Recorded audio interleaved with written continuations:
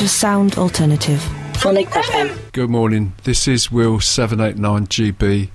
Yes, that is my Twitter my Twitter name, and um, we may be doing some more twittering because we we started on the um, We Don't Know show on Tuesday um, to think about uh, contacting Stevie Wonder, and we thought a, a tweet would work.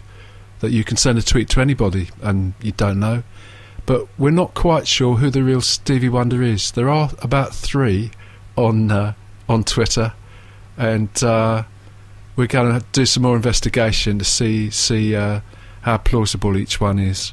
Anyway, we're going to we're going to play more Stevie Wonder just to encourage the contact, and um, this this is called uh, "I Was Made to Love Her."